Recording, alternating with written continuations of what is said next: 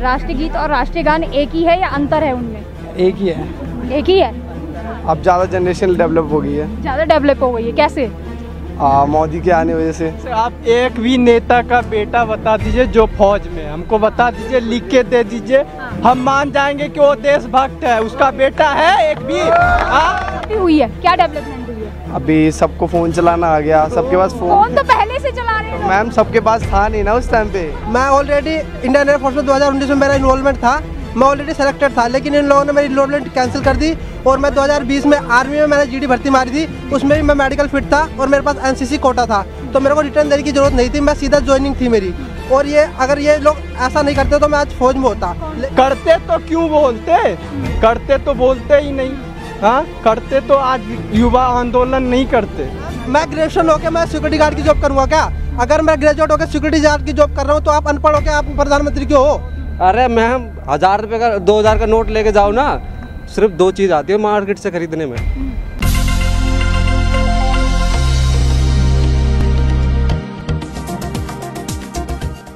नमस्कार, मैं पूजा, आप देख रहे हैं जनित आवाज़। इस वक्त मैं मौजूद हूँ दिल्ली के कनॉट प्लेस में। कनॉट प्लेस में यूँ तो लगातार यहाँ पर लोग मौजूद रहते हैं, लगातार यहाँ पर लोगों की भीड़ जमा रहती है और युवा भी यहाँ पर आते जाते रहते हैं। यहाँ पर आप देख सकते हैं तिरंगे वाली टी शर्ट्स लोगों ने पहनी हुई है। तिरंगे के उपलक्ष्य में लगातार यहाँ पर जो है, हर जगह तिरंगा ही तिरंगा दिखेगा। पूरी दिल्ली जो है तिरंगे से शुमार दिख रही है, एकदम रोशनियाँ दिख रही हैं, तिरंगे में लाइट लगी हुई हैं सब जगह पर, और तिरंगा ही तिरंगा है, चाहे वो गाड़ी हो, ऑटो हो, बाइक हो, सबकी गाड़ियों पर तिरंगा ही लहरा रहा है, चाहे वो टी शर्ट ही क्यों ना हो, चाहे वो टोपी ही क्यों ना हो, कपड़ों तक में जो है तिरंगा दिख रहा है। लेकिन यहाँ पर जो लगातार यहाँ पर इस तरीके के युवा मौजूद रहते हैं और उनका स्टंट आप देख सकते हैं, किस तरीके से ये लोग जो है स्टंट कर रहे हैं, उसी के उपलक्ष्य में यहाँ पर लगातार यहाँ पर ये लोग करते रहते हैं। कब से कर रहे हैं आप लोग स्टंट वगैरह हम कर रहे हैं जी। छः साल से कर रहे हैं। सारे बंदे हम एक साथ के अकेडमी हमारी। हम्म, किस नाम से बताइए आनी से एक बारी। तो हमारा है बॉम फायर क्रू अच्छा तो ये आप लोग कैसे स्टंट कर लेते हैं? ये एक बार में चार पाँच बार ये जो अभी आप, आपने किया जो? हम काफ़ी टाइम से प्रैक्टिस कर रहे हैं। पाँच छः साल हो गया तो हम सारे एक साथ ही प्रैक्टिस करते हैं।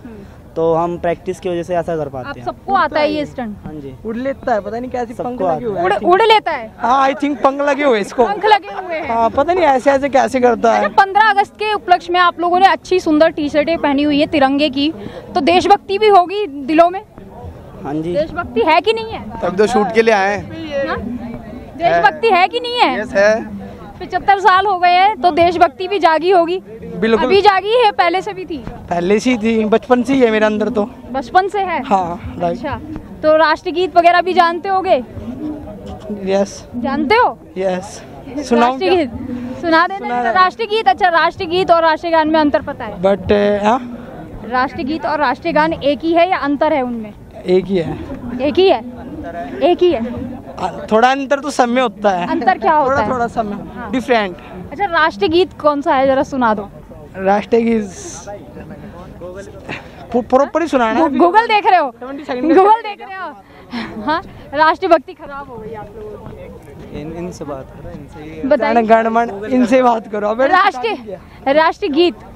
आप थोड़ा एग्जांपल दो फिर मैं कंटिन्यू वर्क हाँ राष्ट्रीय गीत गाइए। कौन सा है राष्ट्रीय गीत? अरे वो नहीं आता मेरे को। नहीं आता? मगर आपके बचपन से बता रहे हो भक्ति है अंदर फ्लिपिंग बोल रहा था मैं आपका माइंड किधर है? अच्छा? फ्लिपिंग करता हूँ मैं बचपन से। अभी आपने बोला कि मैं बचपन से देशभक्ति है फ्लिपिंग बोल रहा था। अरे यार देशभक्ति ये भैया है। हमारे कैमरा में रिकॉर्ड हो हाँ, मेरा भी उधर रिकॉर्ड हो रहा है देखो वो लगा हुआ है। है अच्छा। तो मैं फ्लिपिंग बोल देशभक्ति तो खराब हो गई फिर आपकी। अरे पिछहत्तर साल- मेरे को स्टार्टिंग पिछहत्तर साल खराब कर दिए आज़ादी का अमृत महोत्सव बन रहा है कि नहीं बन रहा है? क्या?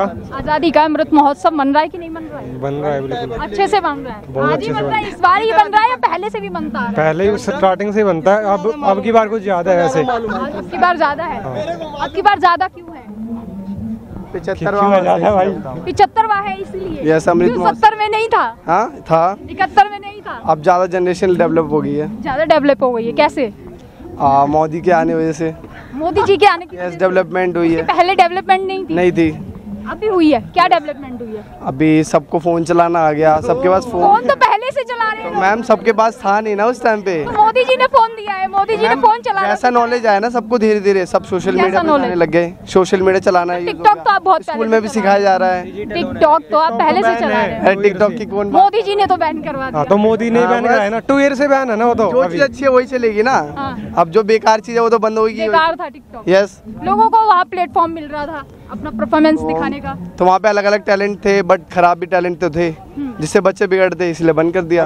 सिंपल। अच्छा ये बताओ राष्ट्रीय भक्ति जागी है कि नहीं जागी पचहत्तर सालों में? क्यों नहीं है? सब में आपके अंदर ज़्यादा जागती हुई दिख रही है। हाँ? तो इसी बात पे जो है राष्ट्रीय गीत सुना दीजिए। वंदे मातरम। राष्ट्रीय गीत क्या होता है? वंदे मातरम है। वंदे मातरम है? पक्का? हाँ? सुनाइए तो जरा वंदे मातरम। नारा लगाओ। सुना दो आता है वैसे? यस आता तो है। तो सुना दो थोड़ा सा। नर्वस हो रहा हूँ मैं थोड़ा। न- नर्वस क्या हो रहे हो? अभी इतना अच्छा स्टंट मार रहे थे तो नर्वस क्यों हो रहे हो? अब उसकी आदत है ना। किसकी आदत है? स्टंट्स की। तो कोई बात नहीं थोड़ा सा सुना दो। हमारे लोगों में देशभक्ति थोड़ा सा जाग जाएगी और लोगों के अंदर। नहीं होगा मेरे से। नहीं होगा? आता नहीं है या नहीं होगा नहीं आता है। आता है? किसी को वंदे मातरम आता है? आता है ना? आता है? तो गा दीजिए थोड़ा सा। वंदे मातरम वंदे मातरम सुजलाम सुफलाम मले अजय शीतलाम शस्य श्यामलाम मातरम वंदे मातरम वंदे मातरम। बस इतना ही आता है। आता है पूरा? ये राष्ट्रीय गीत था या राष्ट्रीय गान था? गीत था। अच्छा राष्ट्रीय गान आता है किसी को? आता है। आता है? Thank you so very very much thank you आता है ना? तो राष्ट्रीय गान गा के सुना दीजिए आप भी। इसे आता है जन गण मन अधिनायक जय हे भारत भाग्य विधाता। पंजाब सिंध गुजरात मराठा द्राविड़ उच्चकल बंग। बींद हिमाचल यमुना गंगा ऊचल जलद तरंग। तब शुभ नामे जागे, तब शुभ आशीष मांगे। गाए तब जय गाथा जन गण मंगलदायक जय हे। भारत भाग्य विधाता, जय हे जय हे जय हे, जय जय जय जय तालियाँ हो जाए इनके लिए शानदार अच्छा अच्छा ये राष्ट्रीय गान को इंग्लिश में क्या कहते हैं पता है? नेशनल नेशनल एंथम बोलते हैं। जी। पढ़े लिखे हो? नहीं नहीं क्लास में पढ़ते हो? हाँ। मुझे लगा स्टंट ही मारते हो बस। नहीं नहीं हम स्टंट कहाँ मारते हैं। भाई लोग हम तो देख रहे आए हैं। अच्छा ये बताओ राष्ट्रीय गीत जो है और राष्ट्रीय गान है किसने लिखा है? राष्ट्रीय गान रविंद्रनाथ टैगोर ने लिखा। टैगोर ने लिखा। राष्ट्रीय गान तो रविंद्रनाथ टैगोर ने लिखा। रविंद्रनाथ टैगोर ने लिखा है पक्का? जी। श्योर एकदम श्योर है। और राष्ट्रीय गीत? बंकिम चंद चटर्जी। बंकिम चंद चटर्जी। पक्का? पक्का। देख लो गूगल कर देंगे श्योर श्योर श्योर श्योर है लॉक कर दिया जाए। लॉक किया जाए। मतलब देशभक्ति की मतलब दे- देशभक्ति के साथ साथ मतलब आप लोगों के अंदर जागा है, है? अच्छा ये बताओ। भक्ति तो पहले से अच्छा तिरंगे के तीन रंग जो है वो किस चीज़ के प्रतीक है? एक तो शहीद की हो गई एक तो हरियाली की हो गई एक अपने शांति की प्रतीक है। सही बता रहे हो बिल्कुल। देखेंगे आप लोग। कोई दिक्कत नहीं सही है। सही बता रहे हो? सही है। आ, आप इनकी बातों से सहमत हो? बिल्कुल सहमत है। तिरंगे की जो तीन प्रतीक है। केसरिया जो है वो, वो ऊर्जा का प्रतीक है और सफ़ेद जो है शांति का। प्रतीक है और हरियाली जो दिखाता है वो हरा रंग। और उसमें जो अशोक चक्र है उसमें चौबीस आरे हैं जो ये ये देश देश देशवासियों को ये मार्गदर्शन करते हैं कि हमें चौबीसों घंटे देश की सेवा करनी चाहिए। जो तिरंगा है उसमें सबसे पहला कौन सा कलर आता है? पता है केसर केसरिया। केसरिया आता है। लेकिन अभी जो लास्ट में है तिरंगा उल्टा पकड़ लिया था आपके अभिनेताओं ने और नेताओं ने। वो वो उनको उतना नॉलेज नहीं होगा ना नॉलेज नहीं है नेताओं को। हाँ वो ज़्यादातर नेता तो जाहिल ही होते हैं। जाहिल होते हैं नेता। एकदम एकदम मैक्सिमम मैक्सिमम। देखिए मैडम कोई भी नेता हो उसे लोगों से लो, लोगों ने मत किया रहता है। तो वो लोगों में से ही चुन के आते हैं। वो लोगों का नेतृत्व करते हैं। इन छोटी छोटी गलती मतलब माना कि ये बड़ी गलती है लेकिन ये छोटी छोटी गलती हर इंसान से होती है। इंसान गलतियों का पुतला ही है। लेकिन जानबूझ के कि कहीं उन्होंने झंडा तोड़ डाला झंडा फाट डाला ऐसी चीज़ें करेंगे तो गलत है। झंडा गलती से उल्टा पकड़ा जा सकता है कि कोई लेकिन ये जानबूझ के झंडा तो उल्टा पकड़ा जा सकता है ये गलती है। लेकिन लगातार तिरंगे का अपमान हो रहा है। यति नरसिंह को जानते हैं? उन्होंने तिरंगे का बहिष्कार कर दिया। कह रहे हैं भगवा फहराएँगे। नहीं देखिए मैडम हर किसी को पॉलिटिक्स से पह- पहले ये बताइए तिरंगे से पहले भगवा है या तिरंगा पहले है? देखिए मेरे लिए मैं महाराष्ट्र से हूँ। हमारे लिए भी तिरंगा सबसे पहला है। कोई जम्मू कश्मीर से होगा उसके लिए भी तिरंगा पहला है। कोई कन्याकुमारी से होगा उसके लिए भी तिरंगा ही पहला है। भगवा पहला होने की कोई मतलब ये सवाल ही मुझे सही नहीं लगा। भगवा पहला होने की बात ही नहीं है। ना ही हरा पहला हो सकता है ना ही सफ़ेद पहला हो सकता है। ये तीनों मिला के ही तिरंगा बन सकता है। इसलिए अलग अलग रहेंगे तो तिरंगा बन ही नहीं सकता इसलिए तिरंगा ही सबसे गुलदस्ता है हमारा हिंदुस्तान हमारा भारत। तो ये देख सकते हैं आप किस तरीके से इनके अंदर राष्ट्रीय भक्ति भी है। मैंने इनसे राष्ट्रीय गान के बारे में पूछा तो वो भी इन्होंने बताया और उसके कलर और प्रतीक के बारे में भी इन लोगों ने बताया। तो इनके अंदर भक्ति है। इधर आओ इधर आओ। तो ये आप सामने देख सकते हैं ये बड़ा सुंदर तिरंगा बनवाया है। क्या बात है। पढ़ते हो? जी। कौन सी क्लास में? टेंथ क्लास में। टेंथ में हो? जी। बोर्ड एग्ज़ाम नहीं देने पड़ेंगे अब तो। क्यों? बंद हो रहा है अब तो नेक्स्ट ईयर से। देना ही पड़ेगा ऐसे तो बोर्ड नहीं है ना? अब बोर्ड खत्म कर दिया टेंथ में। नहीं देना मज़े आ गए मौज आ रही होगी अब तो। अच्छा आज यहाँ पर आने का कारण बताओ। ऐसे ही आज ही आए हो रोज आते हो? ऐसे ही आज ही आए काफ़ी दिन के बाद। और तिरंगा तो बड़ा सुंदर लग रहा है बनाया हुआ है लेकिन अ, क्या दिल में भी है राष्ट्रीय भक्ति? जी। है? जी। दिल में है? दिल में है तब तो बनवाया। लगेगा? क्योंकि दिल में है तब तो बनवाया क्योंकि सरकारें तो बोलती है जिसके अंदर देशभक्ति होगी वही देशभक्त है और जब तिरंगा लहराने से नहीं पता चलता। कैसे बताओगे अब? जब दिल में है तब तो गाल पे बनवाया। ऐसा हो रहा है? हो नहीं सर आप एक भी नेता का बेटा बता दीजिए जो फौज में हमको बता दीजिए लिख के दे दीजिए।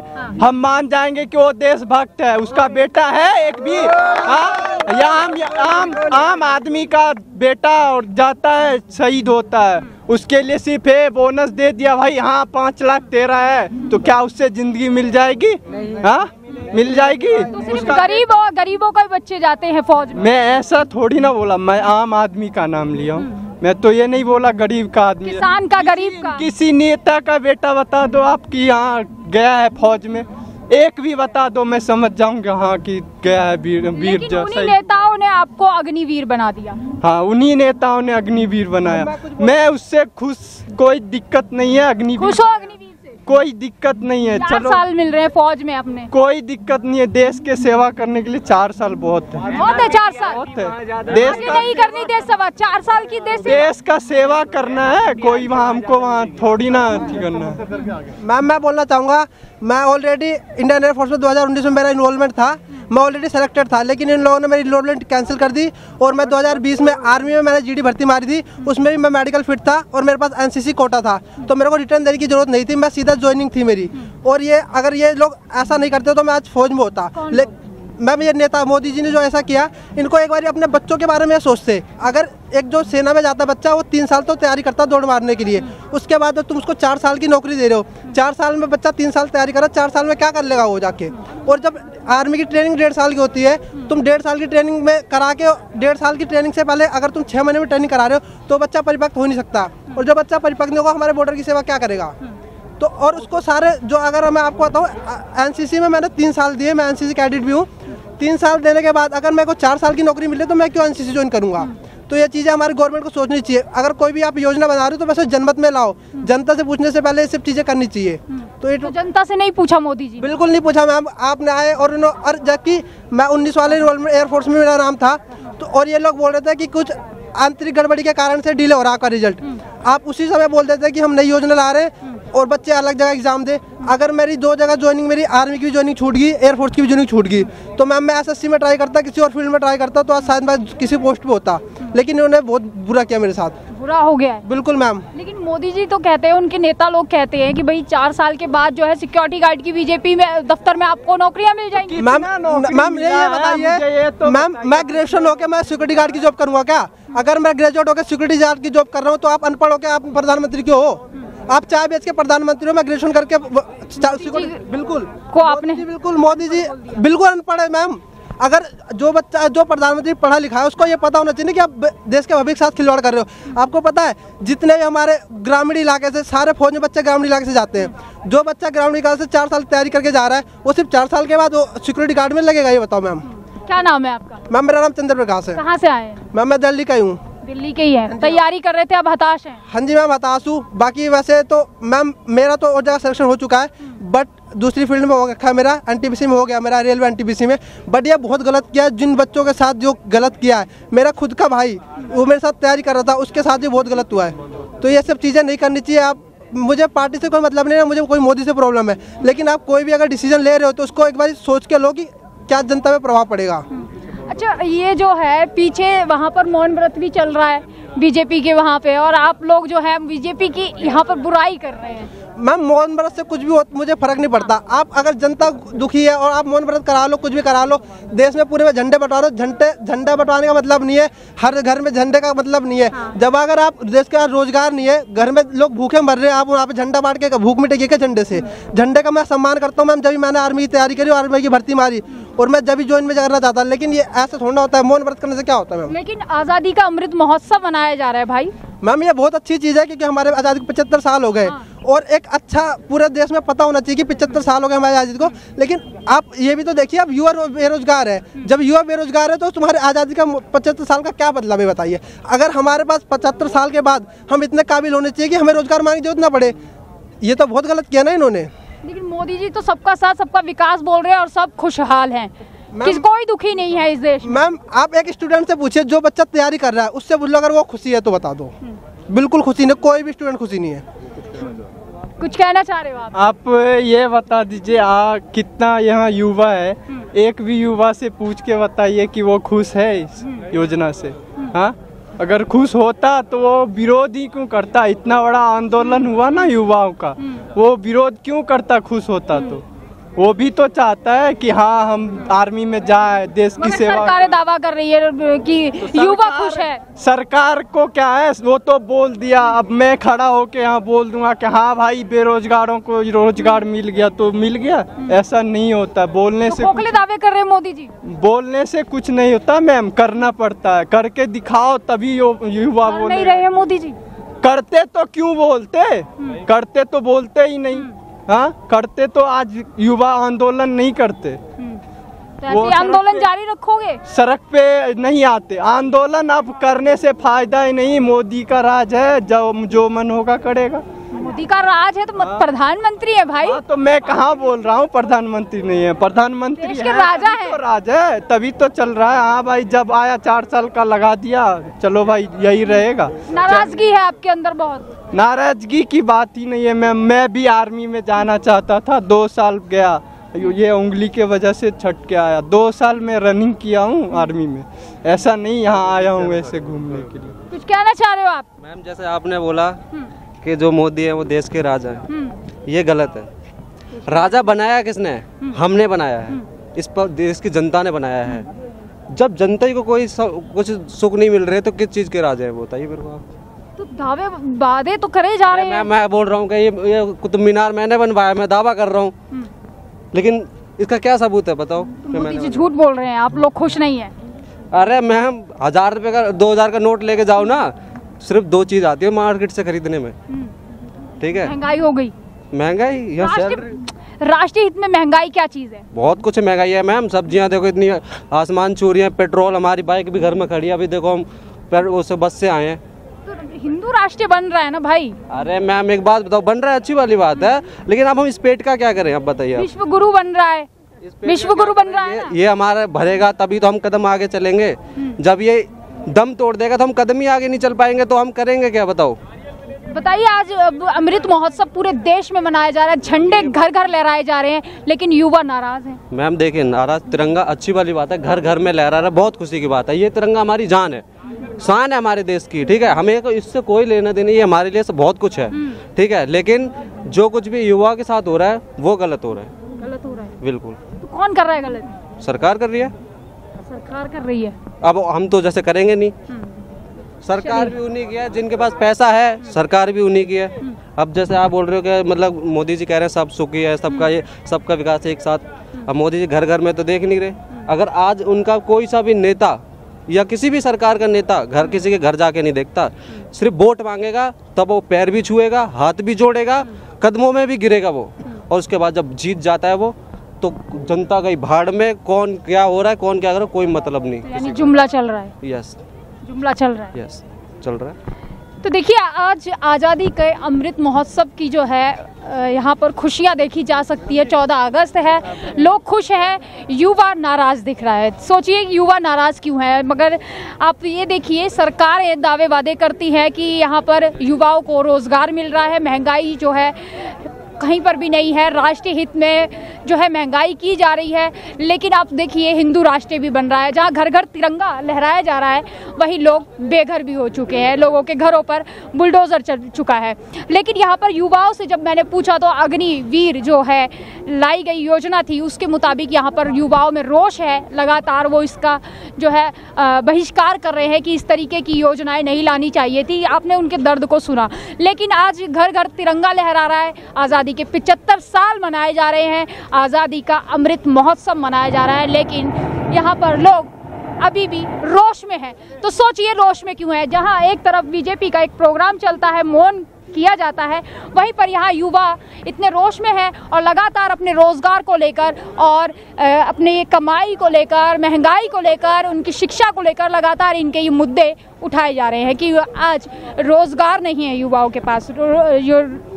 जो युवा है, वो लगातार इसी तरीके से यहाँ पर आपने सुना भी होगा कि किस तरीके से यहाँ पर युवा लगातार अपने अंदर की बातें बयां कर रहे हैं। लेकिन आज़ादी का अमृत महोत्सव है। आप भी चखिए, घर पर बैठकर और अमृत को पीते रहिए।